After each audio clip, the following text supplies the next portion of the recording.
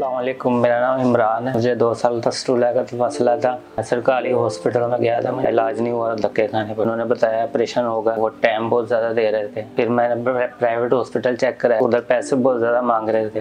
Afford नहीं कर सकता था। फिर हमें किसी ने बताया कि आप टी एच इदारे में चले जाएँ।